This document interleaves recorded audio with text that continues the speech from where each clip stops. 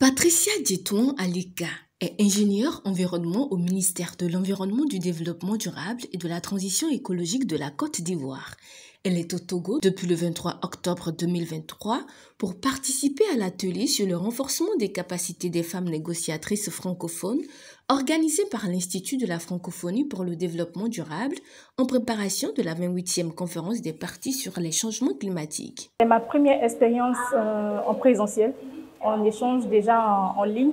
Et mes attentes par rapport à cet atelier, c'est de vraiment maîtriser euh, de façon très pratique les techniques de négociation. Tout comme Patricia, plus de 200 femmes participent à cet atelier, dont 50 en présentiel. Venues de 28 pays francophones, elles reçoivent des formations théoriques et pratiques sur l'adaptation climatique, l'atténuation, les pertes et préjudices, les technologies, l'agriculture, la finance climat et surtout les techniques de négociation afin d'être mieux préparées pour une participation plus active à la COP28 prévue du 30 novembre au 12 décembre 2023 à Dubaï. Cela est important parce que euh, depuis plusieurs années, les femmes ne sont pas nombreuses dans les délégations des pays en développement francophone.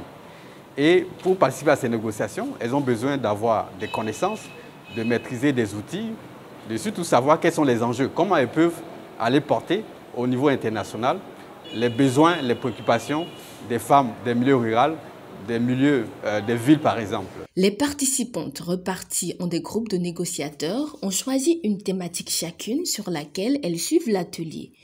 Patricia éprouve plus d'intérêt pour les communications sur les pertes et préjudices. Ma contribution pour ce, domaine-là, les pertes et dommages, ça sera plus dans le sens de faire euh, entrer les pays en développement dans le fond. Commencé le 24 octobre, les exercices de simulation de négociation se poursuivent jusqu'au samedi 28 octobre 2023 sur les différentes thématiques au menu avec les experts formateurs. L'atelier est à sa quatrième édition cette année.